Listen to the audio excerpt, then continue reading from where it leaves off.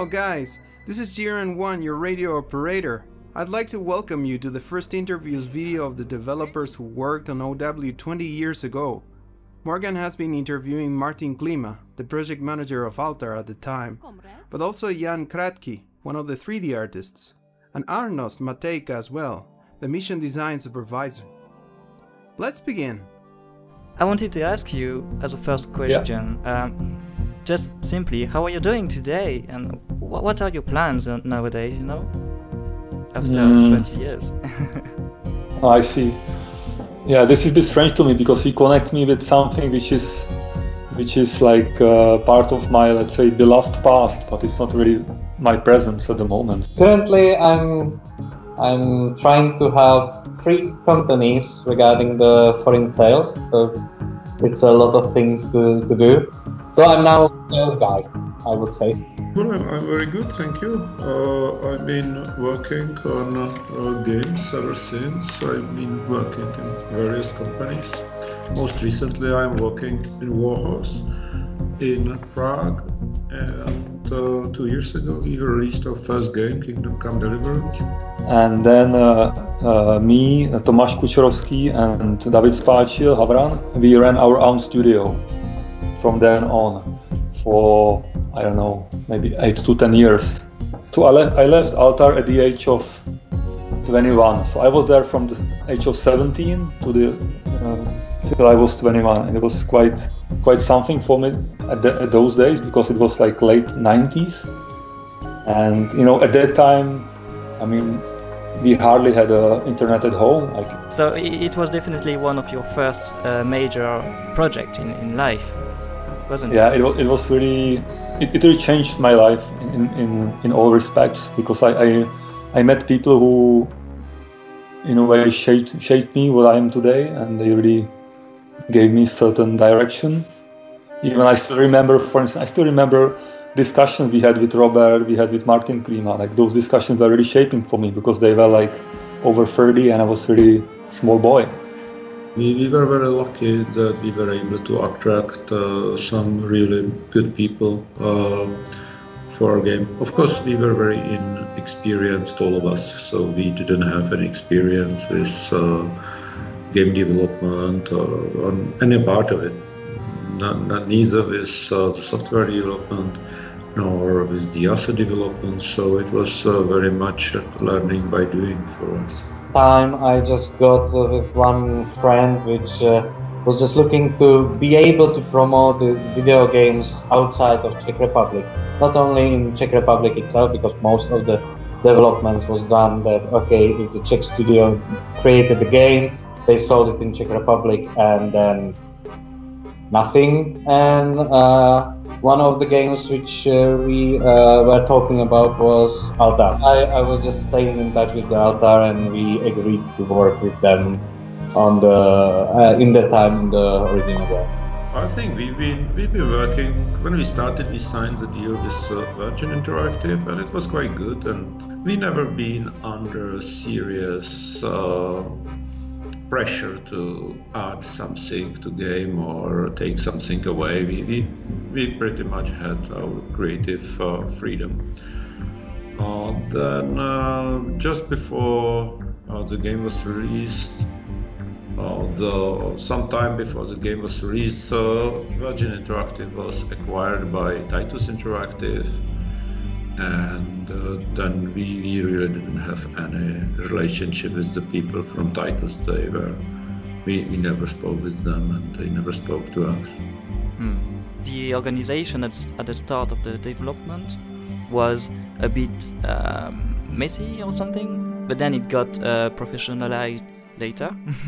yeah, the, th- the thing is that uh, I would say uh, messy from the operational view because now I'm I'm doing the project management and sales, and you need to have uh, some rules how to go in and you. Uh, the time was okay. You need to do these uh, missions that time, that time, and the deadline was like guidance, not a rule. Yeah, so uh, some things which we plan for having in two years done were in three years. So even now I think now the game development is a little bit more professional, a lot more professional. But at the time, it was done the way that it was like really passion. That bunch of people were sitting somewhere trying to create something. I was quite tired those days because I was waking up in the morning for, for school and then uh, like at 2 p.m. I was going to the office and then in the evening I was going home and then studying for school. Very intense uh, schedule. Yeah, and then yeah, then over weekend we were in the office all the time, like sleep. Basically, really, we were sleeping under the tables, and sometimes on a, like the evening we just went to pub and then we went home.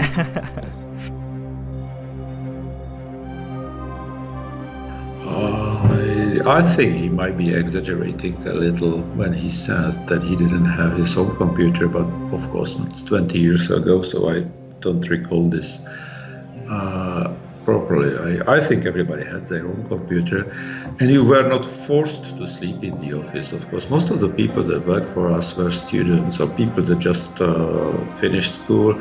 They were living with their parents mostly, or they were living in dormitories in uh, in the college it was quite convenient to stay there overnight uh, if you wanted and uh, and we did it a lot. I did it myself. I, I slept in the office from time to time. And this is the kind of uh, lifestyle and work ethics that you can have when you are 25 because uh, you, you don't have uh, obli- other, other obligations. Usually these people they didn't have wives or children. I was uh, an exception than being married, and I already had two children. But uh, okay, we were paid, but the payment was like uh, uh, not the main thing. We didn't have a families which we need to take care of. A lot of us were uh, living together with the parents. Usually, the, the, computers at the time were quite expensive, and uh, if you wanted to play Doom, uh, Quake LAN party, then uh, the office was the best place where to do it because uh, there was a good uh, LAN connection and there were uh, computers good enough to uh, run uh, Quake. So, in, as I say, it was this the, the whole development had this kind of a sort of party atmosphere in a way that we were uh, we, we really felt that uh, we we are doing something exceptional. So it was more than just work for us. Oh, in a home, home it means back to the office right? So we made some some food for ourselves and we worked again. It was not very productive but we loved it.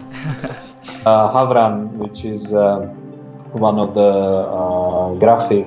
I do remember that uh, at one time he was needed like 15 or 20 computers, which was nearly everything what we had, because he was doing uh, a work to school, which was a huge uh, airship which is going around the mist, and he was just because he is on art school. So uh, we were going to work and we just say, okay, Havran, we need our computers. Oh, don't worry, it will just finish in few because distribution uh, computing and the, uh, the movie which he was doing was, I think, one and a half minute long at maximum. It was compute uh, overnight and everything was like two weeks.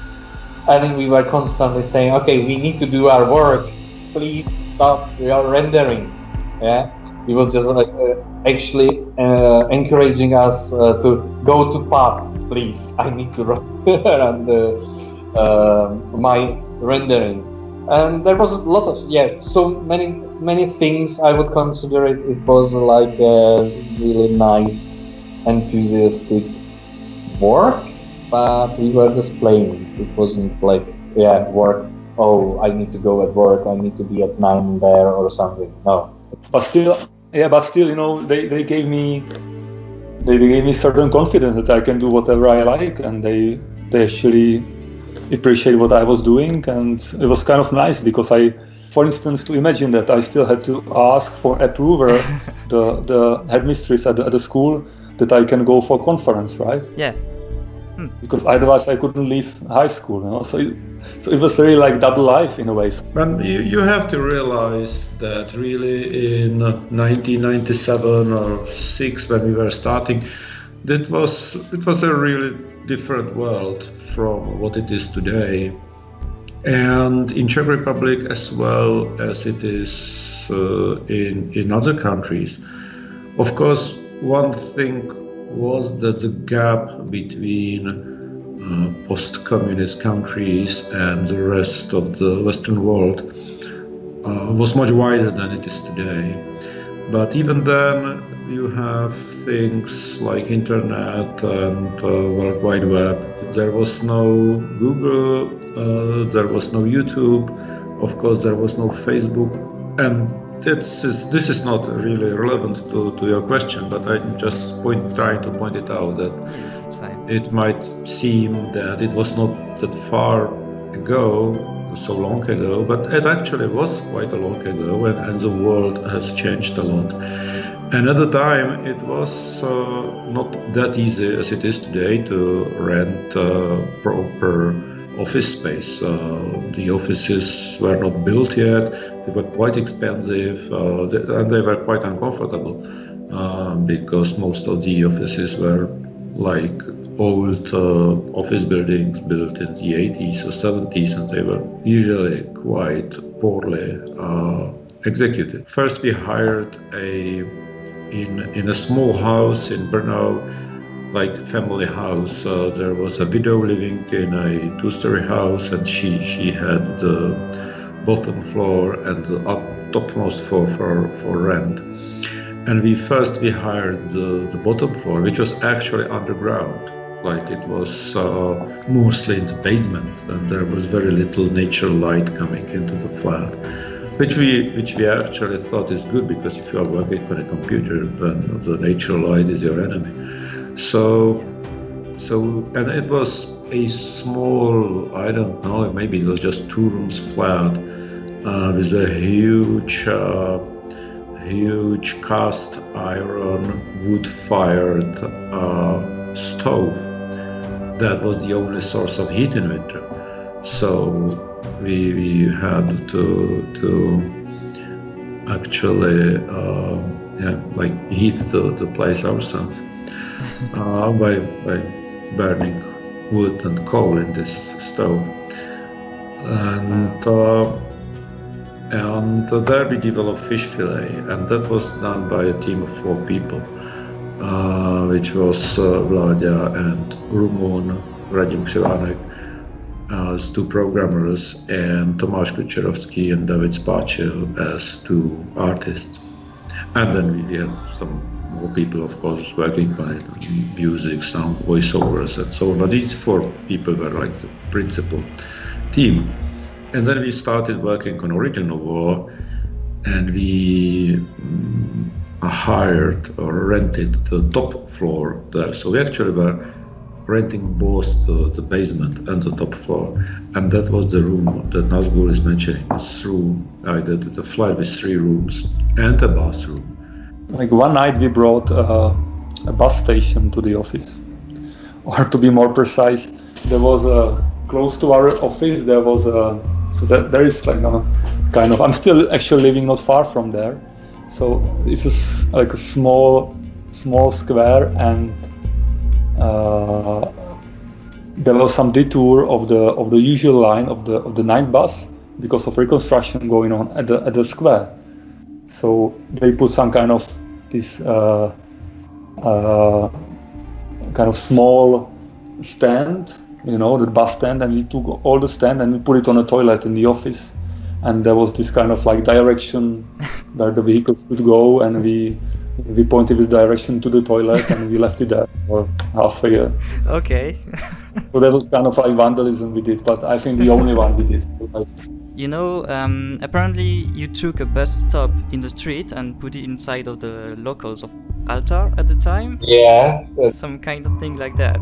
Uh, Do you does that come to your mind? So we had on the toilet we had a huge uh, sign which I don't know where we took it, but it was uh, uh from the street somewhere. But yeah, we were young, we were drunk, and we were stupid. so some some of the things like that appear. I do remember that uh, bus stop that uh, they were trying to take it uh, to to Altar to home. I don't remember if we put it back. but I do remember that we uh, just woke up one uh, one day and there was a. Bus stop. There was one sign, and the second was the the cone when you have like uh, uh, there is some hole uh, in the street or something that the plastic one uh, cone was uh, in the middle of the room. That's all what I remember. It was it was like a huge long party. The E3 presentation of the game had like half a million attempts at downloading the demo, and it could have maybe brought some funds I suppose. On the beginning to make the.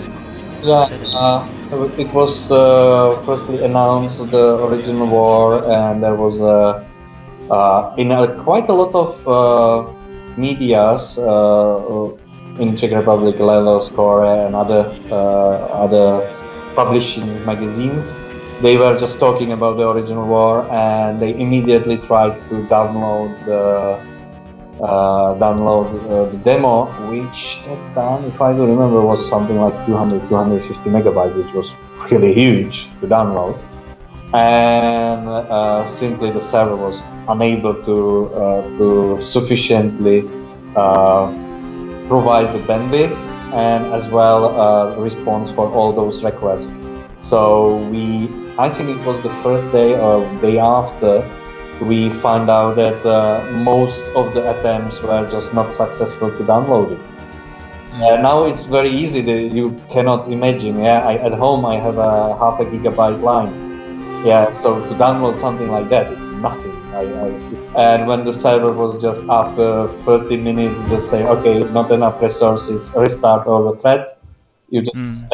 nothing. You had 50% of downloaded. Uh, things and they try again and again. So yeah, if it were, I think there would be more uh, more people uh, around the world uh, which were interested in original war.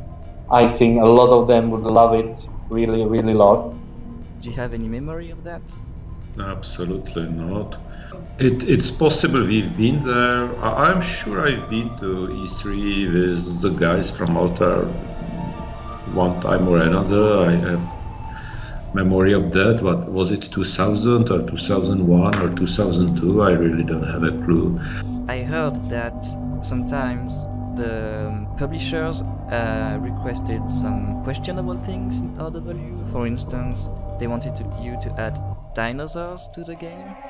Do you have any memory of your relationship with maybe your publishers, or was it fine? I think for I think it was more of a joke than a, an actual like serious proposition, and we never been under serious uh, pressure to add something to game or take something away. We we, we pretty much had our creative uh, freedom.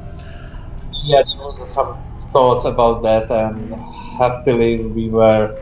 Uh, the whole team was just saying, "Oh no way," because consistent with the story, era, and everything. So gladly that there are no dinosaurs. it shows that you are very um, liking the job you are doing, since you are all, you know, this kind of um, office and sleeping under, under the tables, as, as you said, all together. Very nice.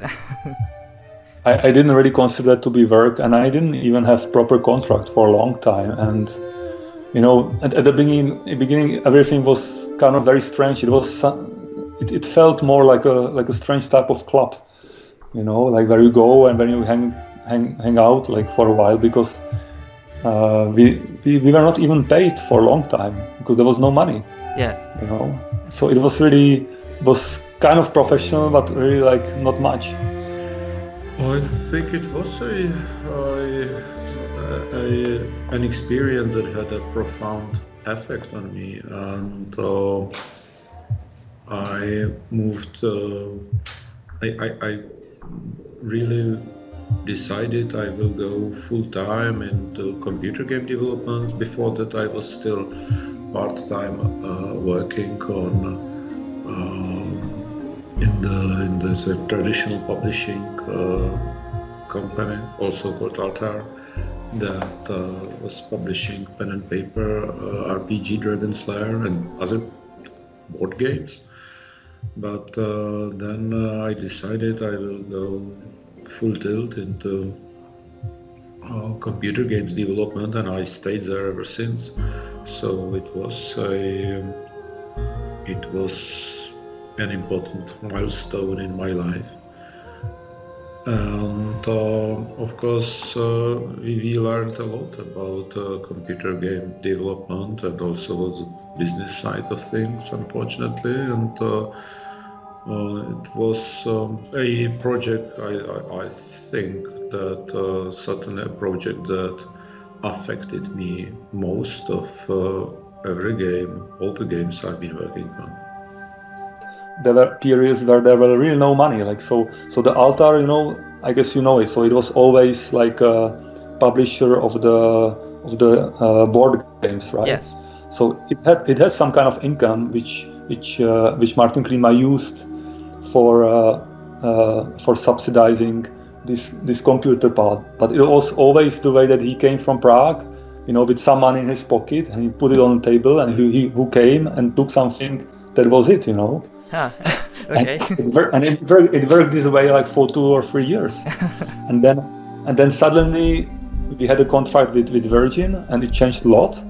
So for a certain time it was kind of ordinary, like so we, we received money every every month, but then there was this discontinuation because Virgin uh, were bought by, by Titus at the time, and Titus had big problems. I mean, it was at the at the turn of, of millennium, and I think a lot of things were changing in, in, in this industry. So it, it seemed that many many smaller publishers were like leaving the scene basically. Yeah, uh, uh, I think one of the things which we were considering was the to having the like a computer generated voice, but still, as it is now, at that time it was really not not working. I, for me, for example, I I like the English because I was playing everything in English, and I do remember there were some voiceovers uh, from Czech which I didn't like at all. Yeah uh, you had to test it you need to go through that. And for me it was strange to play game which is speaking czech. And the voice acting was not so good. The english one was much better. Uh, because even for the actors here in brno because the, the, it was uh, recorded here in brno uh, for a lot of the actors was the first uh, even try to to have a voiceover for for a game. And uh, of course, the let's say the budget for the voiceover wasn't stellar, so you cannot uh, go and take the, the best play, uh, actors. But still, there was a really good uh, good actors in inside of the uh, of the game. And did you take part into the Czech uh, dubbings? Um, yeah, well, this is something I I uh, remember not that distinctly, but uh, all the foreign language uh, voiceovers were created by Virgin uh, in London. I've been to London to oversee the English voiceovers, and I think uh, it was one of the things, one of the lessons learned, which uh, I, I think I wish I knew before is that it was a mistake to cast uh, English actors as American soldiers because they speak with this fake uh, American accent, and uh, and actual actual U.S. players find it very annoying. So when the game came out, it got markedly lower review scores in U.S. Uh, magazines than it did in the European ones because, and I, I think voiceovers were a big part of it. Uh, of course, it was more convenient, cheaper probably for Virgin to do it that way. And again, this goes to show what uh, how, how the world changed. Uh, today it's easy to set up a recording session in US with US actors.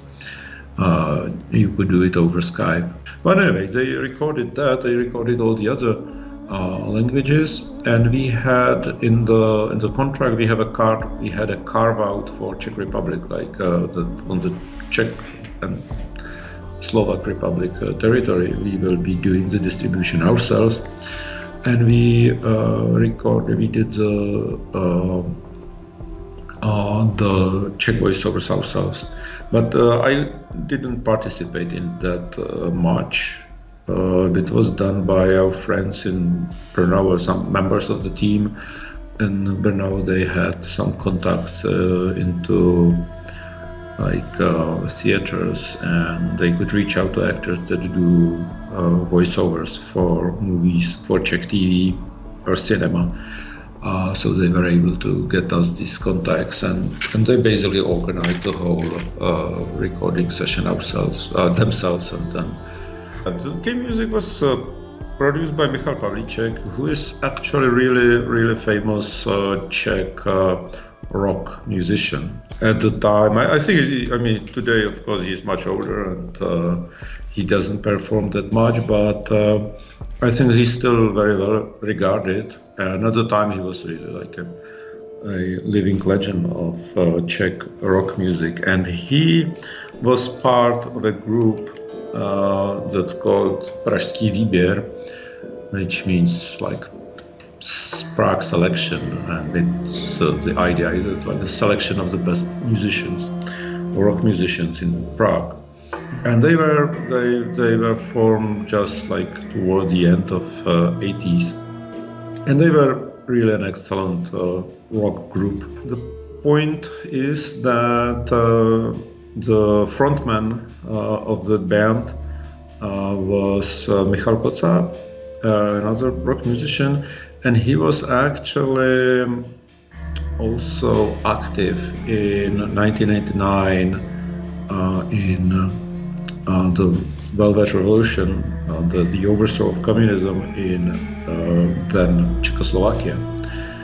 And uh, I myself also have been involved in a way uh, in that regime change. And so I formed a sort of a friendship uh, acquaintance with uh, Michal.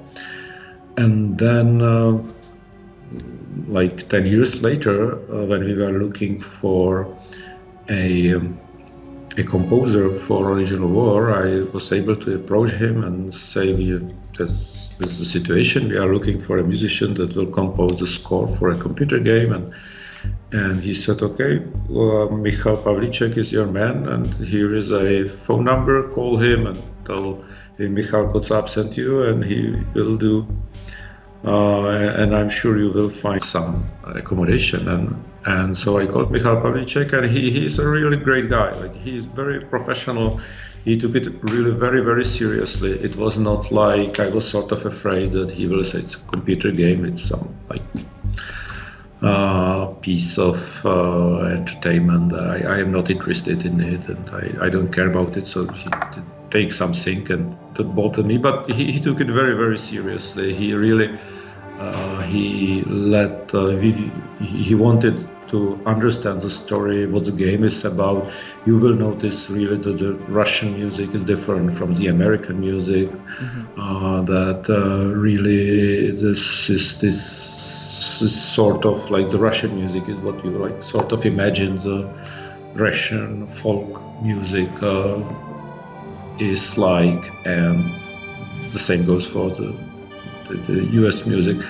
And I, I, think he did really a fantastic job on it, and uh, the music is one of the best things about the game. Yeah. So I, I was very, very proud of it this was also coming to Altar, this kind of standardization and uh, and division of the labor to small subparts, which you know that you are expert on a tree, for instance, but you do it whole life. I didn't want that. Yes, so maybe you preferred um, the earlier stage of uh, the development of OW. Definitely, it was like much more like hodgepodge everything, and it, it was even you know the the crucial change was also that after that, everything was turning to the 3D, you know, so it was really change of paradigm in many respects. Yes. You know, instead of like, uh, because before people who were able to draw and paint were quite on work, which I was not actually, but I, was, I did some 3D modeling always, so I could do that, and I did that in Altar. But after that, uh, it was much more about shaders, programming, and, and all these really hardcore work with polygons, you know, like something I, I I was not very good at. I mean, because I I'm not that precise. Yeah, I do remember some of the missions. Still, like I, if I would start to play it, I would get like because you can uh, you can uh, set up a lot of steps ahead and uh, in some missions you could do that that uh, you just from the start select so many steps that you will be nearly on the end of the mission. So i think some of them especially the first uh, uh mission from americans and some of i think it's a fifth mission with stepan who was doing which is a, a uh, there, there was a lot of work on the artificial intelligence inside. I think I would remember every step that will be done because every every player or uh, audience, I think they would like uh, to play games, develop the games, and they thinking, oh, you're just playing the games. If you play one game and one mission, which is on the beginning really really crooked because it not work even 15%, and when you're playing it for 1,000 times you're starting to hate that mission. Some of the content I do remember, some of the story. I was just thinking that I think the Russian part I'm not so much. I don't remember it so much. The American, yes, with the aliens which was coming inside, yes. I remember a little bit of Arabic campaign which wasn't uh, developed after then, which was really that was really nice. It was like an Arabian Nights, a little bit like a story and fairy tale, but yeah, it happened. oh, the, the, initial plan, the initial plan was to have uh, three campaigns in the game: uh, Russian, American, and Arabian, or mercenary. And uh, then we were not able to do it because we were running out of time. We, mm, still took uh, almost one year longer to finish the game than we originally planned. And then, in, so then we decided uh, let's uh, make this uh, third campaign optional as a DLC, and then we decided to drop it uh, altogether and just publish the game. But we never really got very far uh, with that uh, third campaign we, we had like general idea what it's going to be about. It would follow the, the, the same um, plan as the other two campaigns. That is, there will be branching towards the middle, and, and of course you would meet uh, the characters from uh, the other two campaigns.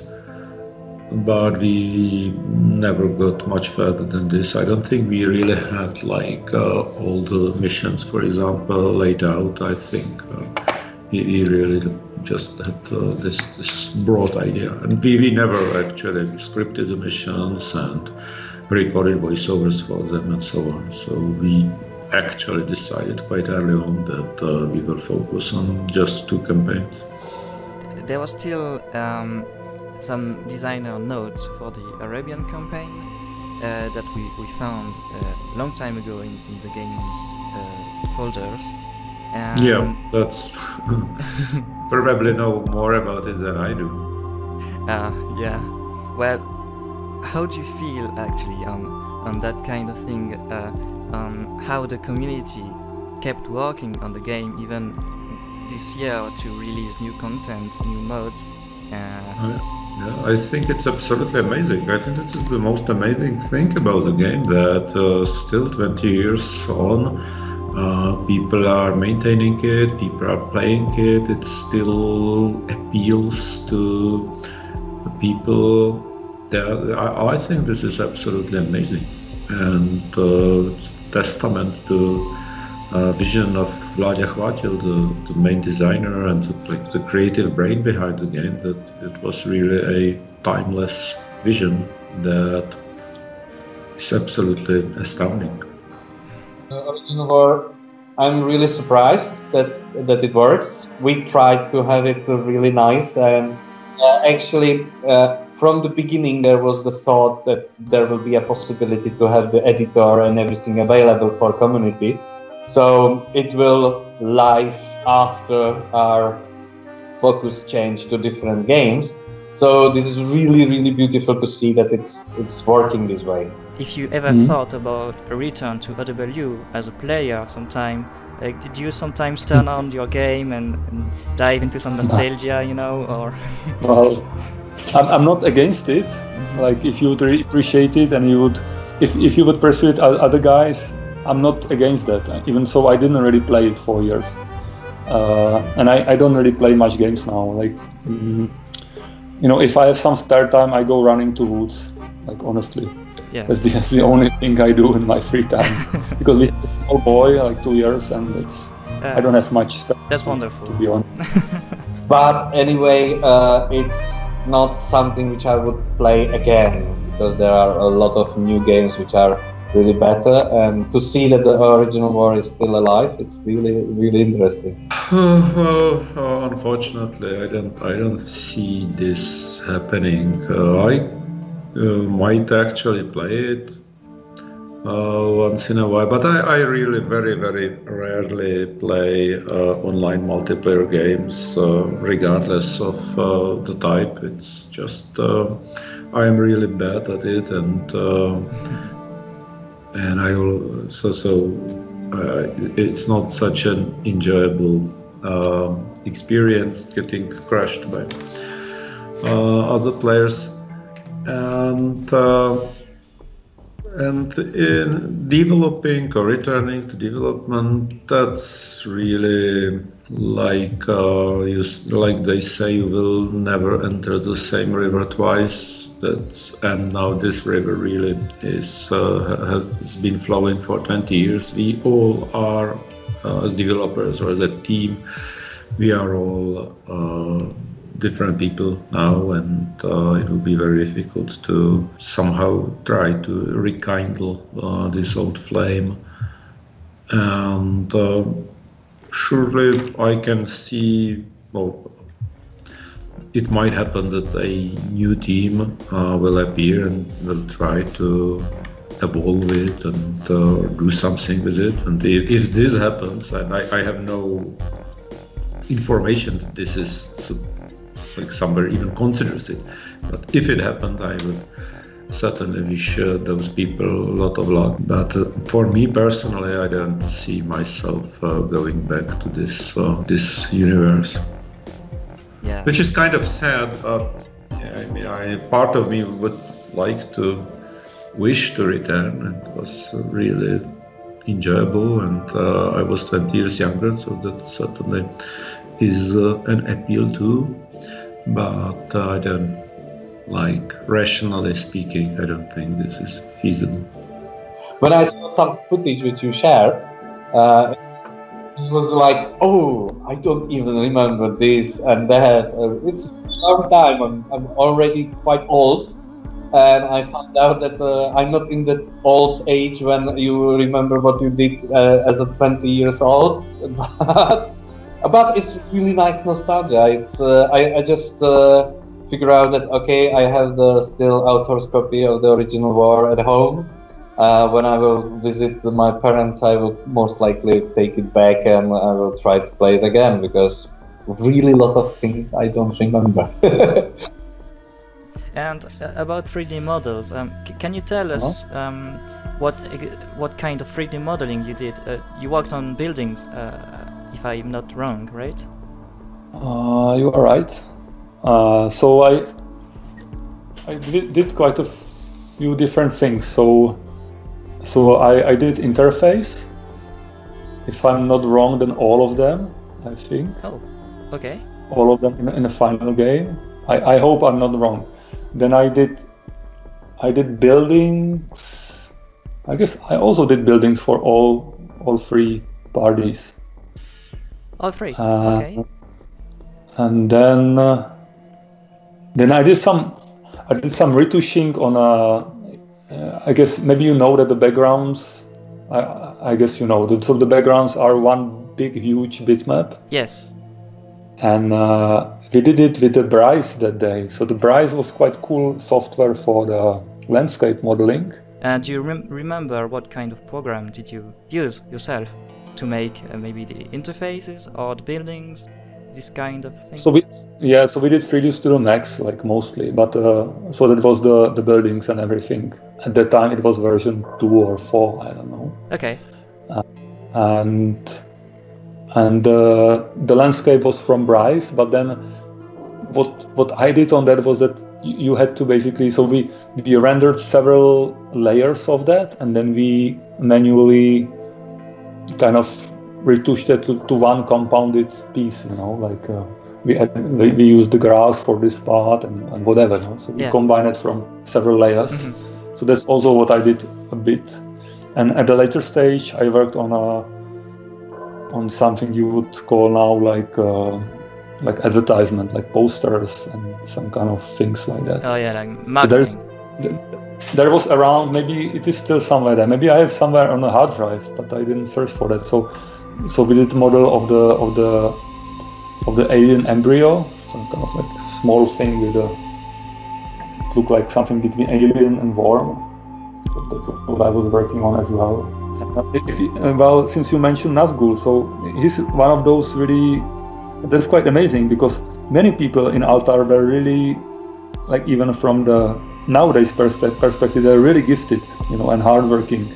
He was one one of those so he was coming i don't know where, where he is now i didn't see him for ages but he was he was coming from the eastern slovakia from prešov and his mom was was uh, teaching art on a kind of secondary school and he, he was real real sculptor you know so he before he came to altar he was he really did some, some kind of like uh, sculptor work. And he was really gifted even in a in a drawing and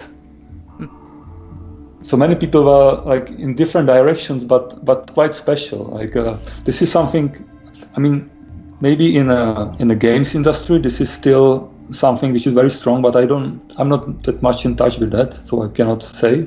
But definitely in a in kind of general creative fields like what you can see for instance in a like uh, website agencies and stuff like that Yes. at least here in Central Europe.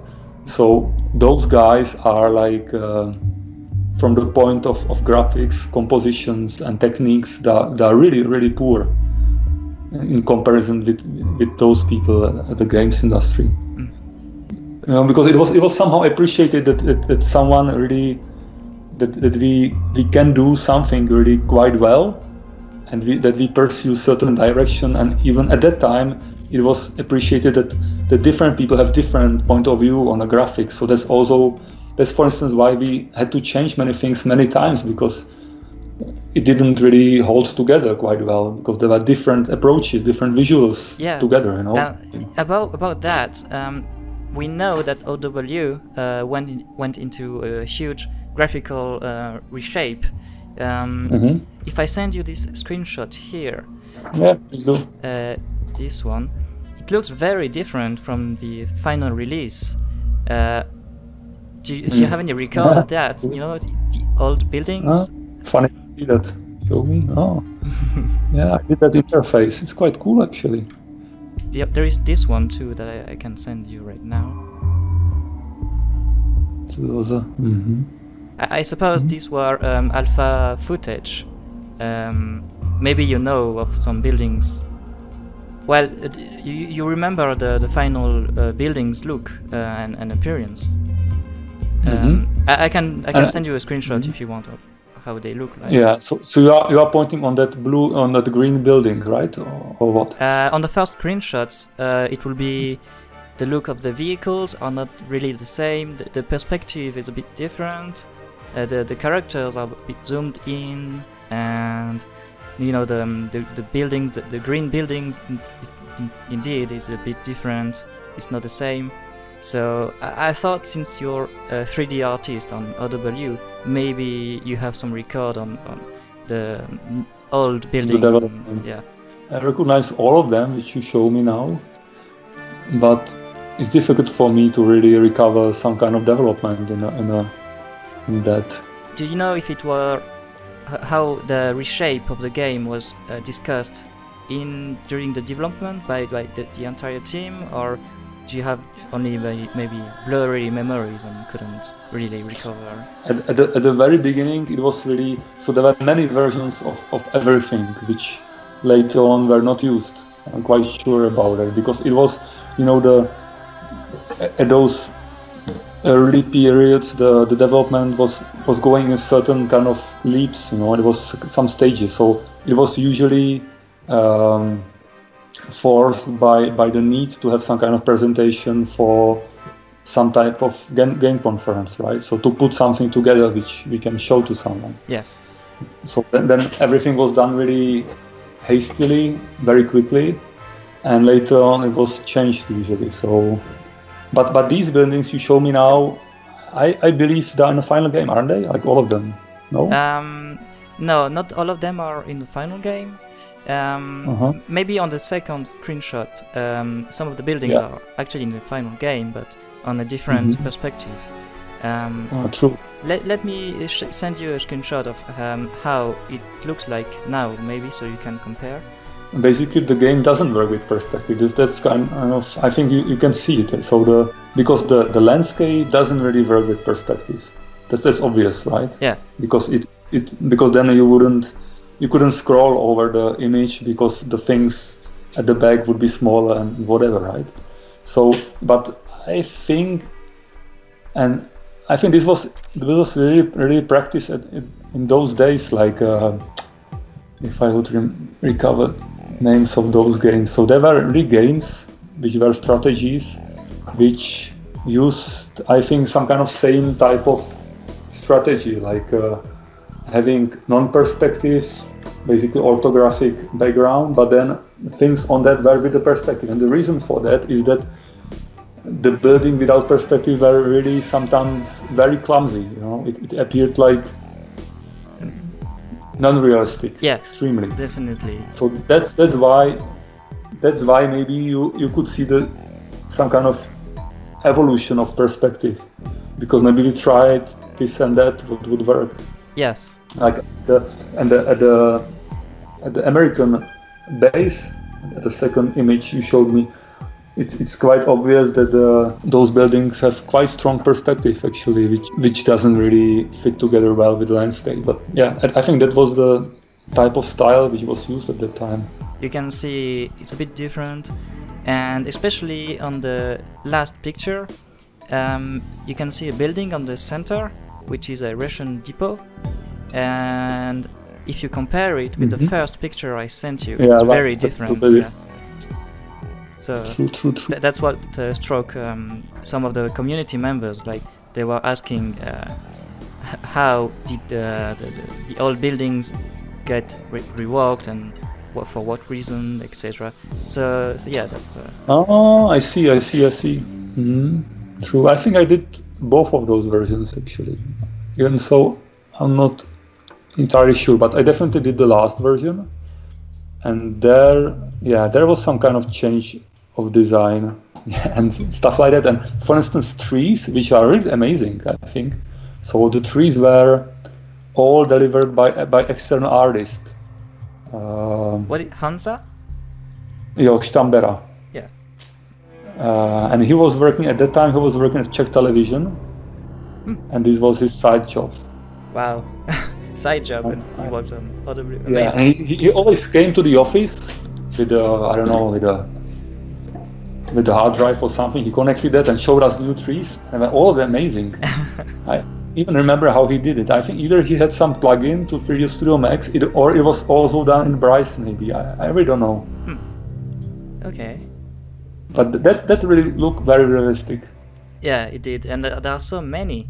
He made a few thousands of trees.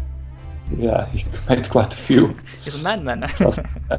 so, for instance, we have reshaped the in-game interface so it looks a bit more modern and is on better uh-huh. resolutions. Yeah, it's quite nice. Yeah, I'm going. So who, who did it? Um, Stuart Carey and uh, Sally. Uh, they are both mm-hmm. um, working on, on, on what we call SGUI, which is a new technology for original war, and it brings a lot of new modding capacities and lots lots of new modes. Yeah, I mean th- this is this is amazing. I I don't have much to say about it. I mean, I, I would like to ask you guys like why you really play it. I mean, uh, I think this kind of like this like type of geeky passion which you have. I yeah, I admire it. There was a thing uh, questions regarding the some uh, game rules that the artifacts will be some additional uh, bonuses uh, which I think I saw in some additional games as well, later on or before. Don't remember. It's too, too late. Okay. Mm-hmm. but uh, the alliance itself, there was some thoughts about in the database that we will add some additional race or we will add some things more, not only the Arabic uh, campaign, but details Wow. Because after then we were uh, the original uh, war crew and the other guys were uh, starting and even on the finishing of the original war we were discussing the UFO XCOM. Yeah, so uh, the aftermath and everything. It's just starting to blur. I don't know which one was the aliens there or that but yes, uh, I, I, I, do definitely uh, do remember that we were thinking about some multiplayer uh, maps, which will be a more uh, like an alien wise, yeah. Because with the multiplayer, you don't need to have it in the canon of the story. You can just have it like for fun, which yeah. multiplayer supposed to be.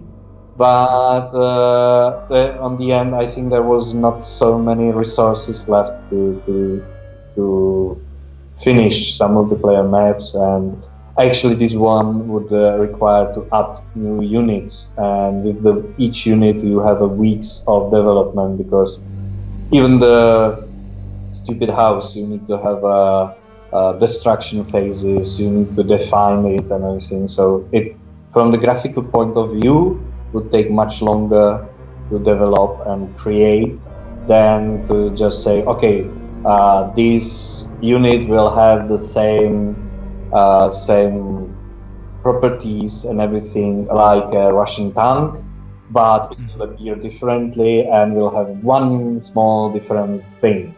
And uh, you can make it in a code and in the uh, game itself you can make it really fast but by, from the graphical point of view you need to uh, do a lot of animations a lot of new things so I think aliens and this part was one of the first things which we just said, okay, no, not to do that. Even we would, on the beginning, it was more uh, to okay, we have a three campaigns. We would like to have Arabic, we would like to have Russians and Americans, and on the end, we had to cut even uh, uh, one of the campaign because of the resources, and it it was a really uh, nasty thing to do because Arabic was nearly everything units and everything you can see it it's already done. Uh, the, uh, the maps which some of them could be reused and uh, uh, the storyline voiceover and everything would need to be added. And but this small part would take a minimum half a year. At the time I would say more than half a year to, to implement and to test and everything. So that was a unfortunate decision based on money and time. I I don't think that we had some large uh, idea about the aliens. Uh, the story was developed, as I said, the whole concept of the game was developed by Vladia and uh, had some small influence on it, but the idea basically was that he started with the game mechanics and then he worked backward towards the kind of story that would explain the mechanics. So the, the core of the game is the limited pool of soldiers and a limited pool of supplies that appear uh, on the on the playing field more or less randomly. So there are no like mines that like in traditional RPG games. Also, uh, there are mines for the other resources, but this uh, one resource just is evenly spread uh, across, more or less evenly. It depends on the mission, but uh, is spread uh, around the battlefield. So how? So that this was the the design, and we wanted. We knew from the beginning we wanted to have this game that sort of blend between RPG and RTS. So you have uh, the soldiers that you take from mission to mission.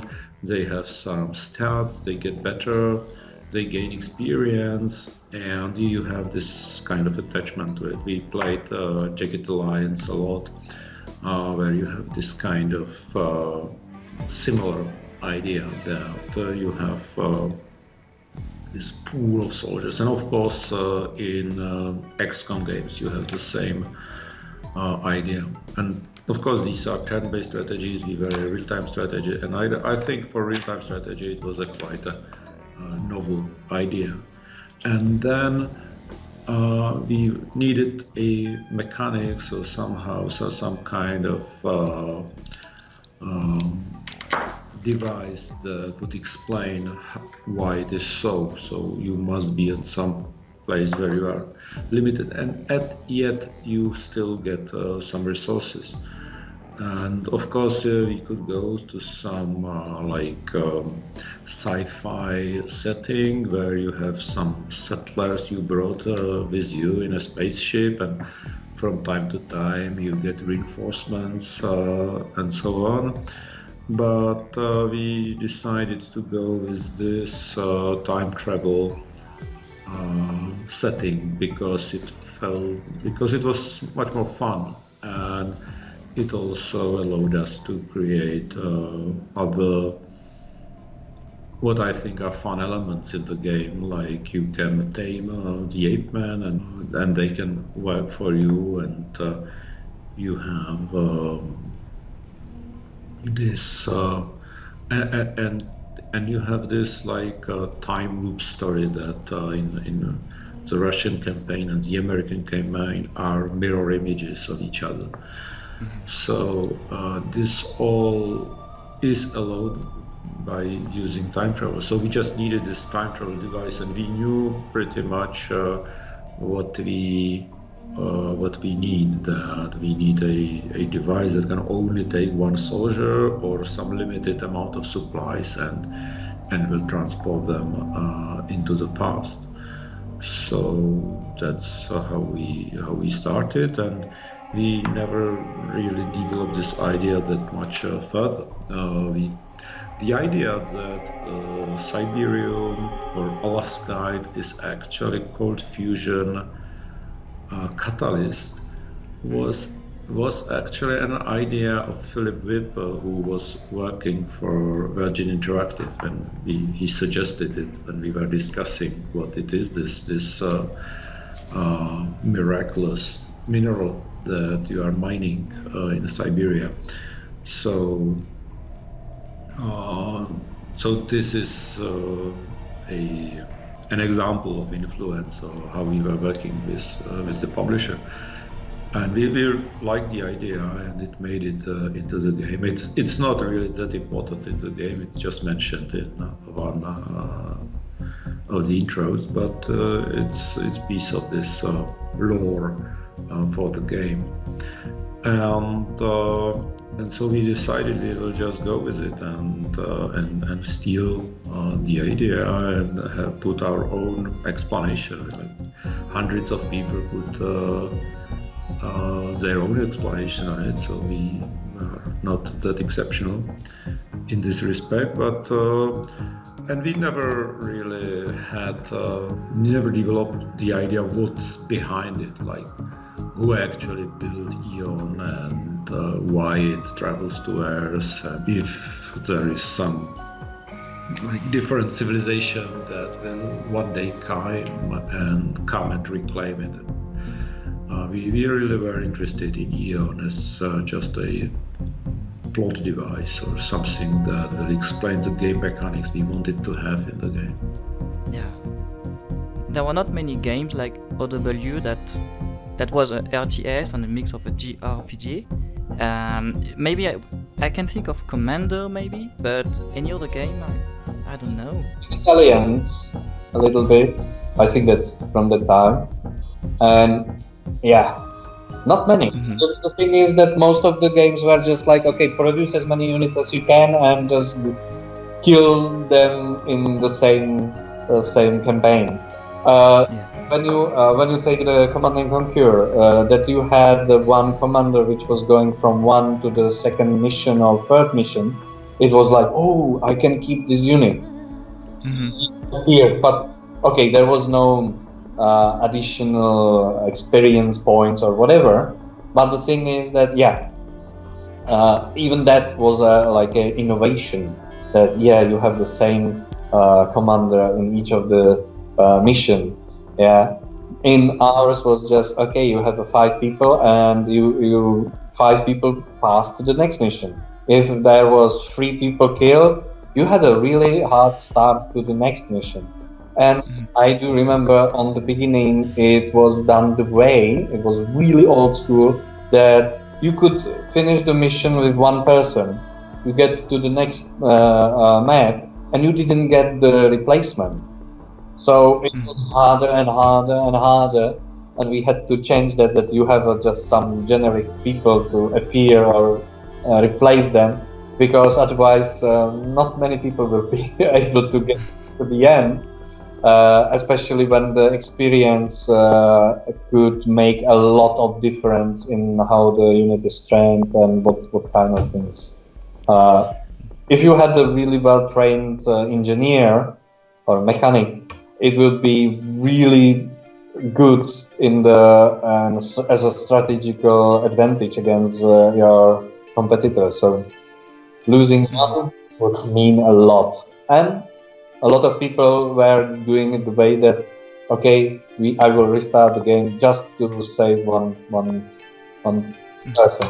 the thing is that. Uh, during the development of the game, there are a lot of things which you are thinking about. I do remember uh, not only about the original war, but we were thinking what to be after the original war, what we will develop. And there, there is, uh, we were having a session where in one room, everyone was sitting on the floor because there was not enough chairs, if I remember. And we were just going and bouncing with the ideas, what what to do, how how to alter uh, things, what would be making it. Uh, sometimes uh, some things would make the game easier and with more of the story but uh, the problem was that with the story you have a narration with the narration you have a lot of cuts in the budget which you need to make on the other side that's why actually arabian uh, campaign was cut because not enough resources to to make it and uh, so a lot of those i i don't remember exactly. I do remember the dinosaurs because that was really funny. And one time they just say, "Yeah, yeah, yeah, let's do that." And the second day they just say, "Oh, no, no, no, no, don't do that," because there are so many games with the dinosaurs. It would be really, really strange and problematic to, for marketing to to sell it. But um, some particulars, I know uh, with the. Uh, destructions and the graphical parts were a lot of alterations because uh, when you have, for example, destruction of buildings or uh, or the units in general, uh, you have a lot of flames, a lot of smokes, and we, uh, we were uh, we were helping uh, with the graphics.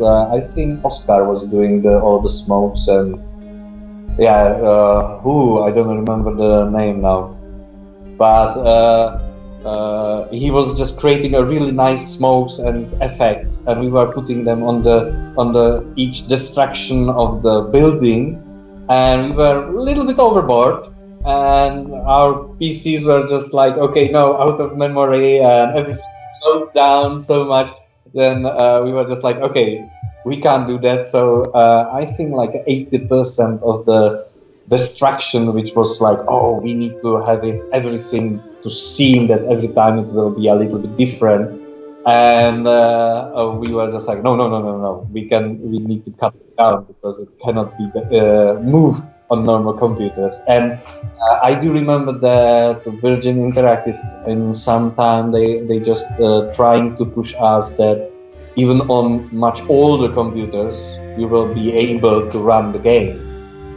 And we were having a really hard time to, to do that. Even when we launched the uh, original war, the first uh, maps and everything was for the uh, normal PCs at the time. But for example, the last uh, last mission, which is a really huge map against Russians, and there is a huge base. Uh, time to time we had to change it because uh, units were get stuck and it was just the base was just going overfilled and the units cannot find the way out and in uh, our computers that time, which were not so, uh, uh, I would say, not so old. It was quite quite new computers, which most of the gamers didn't have at home, and it got stuck, and you were having like, I would say, 15 frames, and you were just like, oh, I would like to really finish it. So we had to do a lot of alteration, not only for the game mechanics, some missions had to be changed. So a lot of last things which we were doing was actually optimization because that was not uh, uh, there was a time like first one and a half year where we were sitting and thinking okay what to add? What to do differently? What to and i think the last year at minimum was just okay we need to uh, you, we need to have it for slower cpus less memory.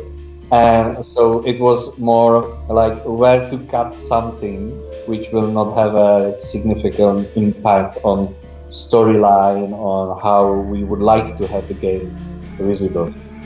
So uh, I I do remember that because at the time was really famous. Uh, real time strategies was really a lot, and there was uh, ideas regarding uh, having a possibility to make it more like a command and conquer. Yeah, that uh, you will be just a lot of units. You will just place a lot of units, and you you will be having a huge skirmishes. But then it was going against the core of the game that you have just a limited amount of people. There, a little bit of that. A remote, uh, the uh, computer remote vehicles and units.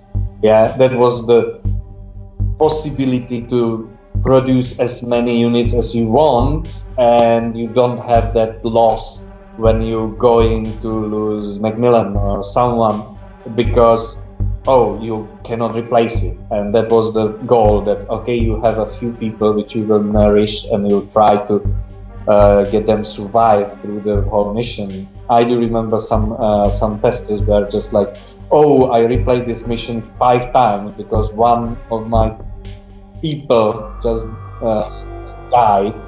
And one one request was that for the apes to, to have been able to move it from one mission to another. And uh, I think it was completely scrapped because it would mean that on the beginning you would have a lot of uh, apes helpers, and on the end you had again a lot of units which you would not care which one is dying or not. So it will be disposable. And yeah, a lot of those thoughts were around. Yeah, even there was some thoughts how to use in the same universe to make. Uh, you you were creating a card game uh, we were thinking about uh, what to do uh, to have a little bit like a different genres, how to how to do it like an RPG or something like that, because some RPG uh, parts were already in the original war. But that was just the ideas. There, there was over the year we had so many ideas. Some were really crazy, which are not publishable any, anymore.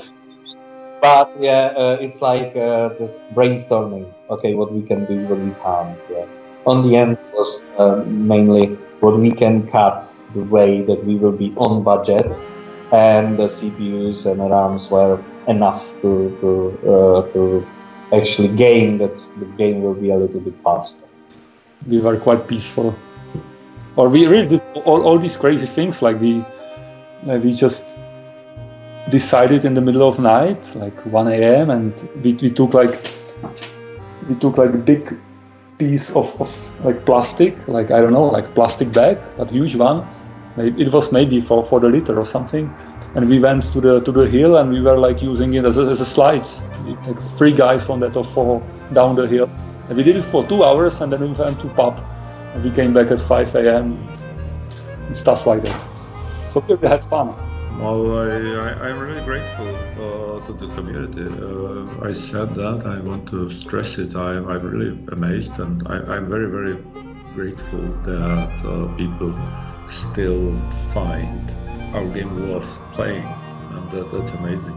So thank you guys. Well, thank you very much for taking the time to actually join me on this interview and for having worked on the game uh, before. Okay, thank you. Thank you so much. Have a great time. Yeah, have a good great day. Bye bye. bye.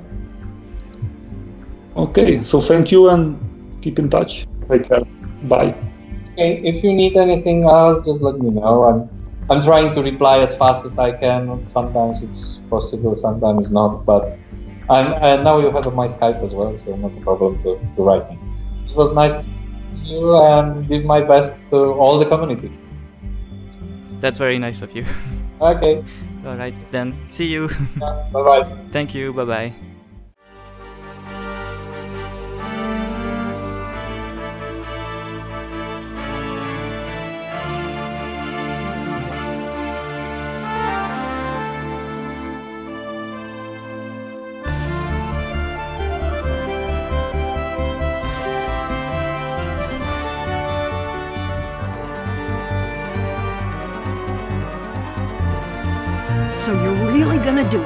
Precisely.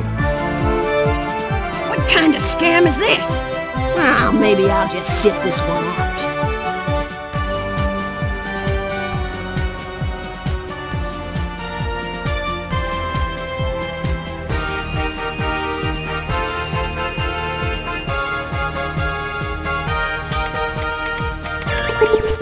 Comrade, I have an information for you. A new video is underway in 2021. Tell the community. Over.